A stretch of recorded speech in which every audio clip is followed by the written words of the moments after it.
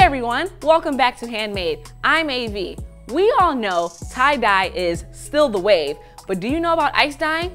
It's its much cooler cousin. Many people are tie-dyeing or ice dyeing clothing, but we are going to do it on napkins. Let me show you how. You're probably wondering, what is ice dyeing? Well, ice dyeing is the technique that you use. You take your material, in this case, our napkin, you have it folded, you put ice on it, then you put some powder dye and you let the ice melt. The ice will help create the patterns with the dye and then you just rinse, wash, and dry.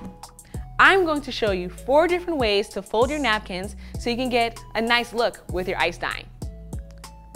This is our ice dyeing take on shibori. So you're going to fold like this, just folding back and forth. Fold, and then fold over. And fold, and fold over, just like this. So you end up kind of like with a rectangular strip. And then you're going to fold over once, and fold backwards, and fold forward, and fold backwards. Now, with ice dyeing, you can put a rubber band around it, or you can just leave it organically. This time, I'm going to put the rubber band, but just one. All right. Next up, I'm going to show you, it's like a triangle. So we're going to fold this in half, like so. fold it in half again. And guess what? We're gonna fold it in half again. Guess what again? We're going to fold it in half. Do you think we can get one more half in here? I think so. Bam! Triangle. Next, going to do a crumple.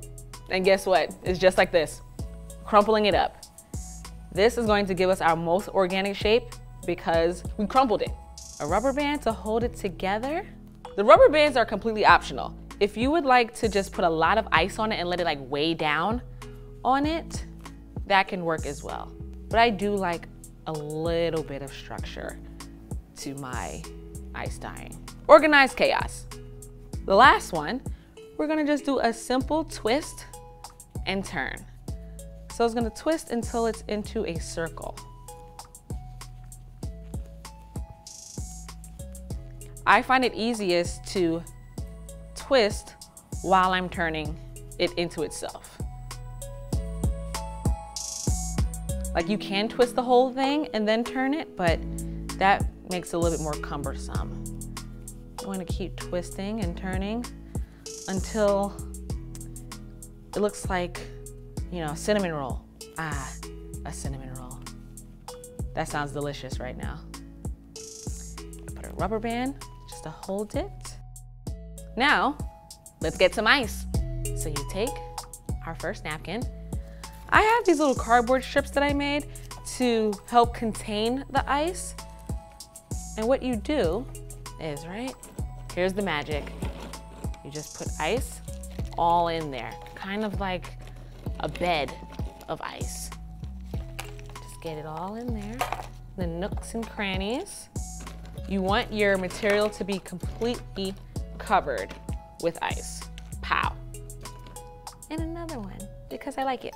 So, you take your powder dye, and the awesome part about powder dye is that it is mixed with a lot of different colors to create the hue and shade. So, when the ice melts, it can give you some unpredictable results, making it really organic. So if you look closely enough, right? Like this is a yellowish lime tint. You can see little speckles of a darker green. So, and that's gonna show up in our napkin. For this project, I like to keep the colors complementary because the pattern, I'm not sure what it's gonna look like, but the colors will tie it all in. You can add larger pieces of ice and smaller just to, you know, play with the pattern. Our crumple one. I'm really excited for how this one's going to turn out. Ooh, look at that. It has a little bit more uh, blue involved. Last but certainly not least, our twist and turn. I think this one is going to have like the most contrasting lines. That's just my guess.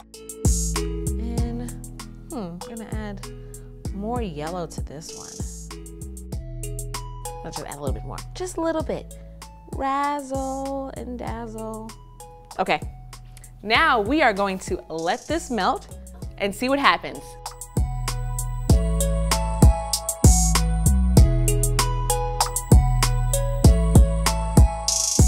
It's been about two hours and our ice is completely melted. I cannot wait to see what these look like. Shall we? All right, here is our shibori. I do a little light squeeze out. Ooh, it's looking green. Fold, fold out, fold out. Look how beautiful this is. Like, ah, the colors, and you see like the little blue dots in the center, and then there's like a whole different pattern on the bottom. Ah, love it. Next up is our triangle. Okay, remember I put a little bit more yellow on this, so we're going to see. Ooh, I love the colors. It's really good. This is gonna look perfect on the table. Can't wait. Next up is our crumble. Okay. Ooh, I really like how this crumple turned out. There is more white space like on the edges, and I think that can be a really nice detail when it's on our table. Last but not least, once again, it is our twist and turn honey bun situation. We are twisting and we are turning in the opposite direction. Here it goes. Here it goes. So with this one, this one actually had a little bit more ice on it. So you can see some of the colors are a bit softer. And I think that's a really pretty detail. Can't wait. So now it's time to rinse, wash, and dry these. Then we're putting it on our table.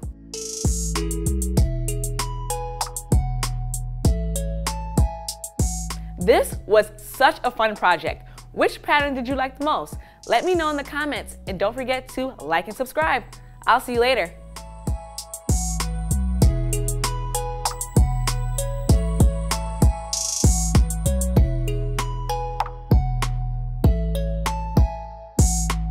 Welcome back to Handmade. My name is AV and today we're gonna talk about dyeing. No, we're not, because that sounds morbid.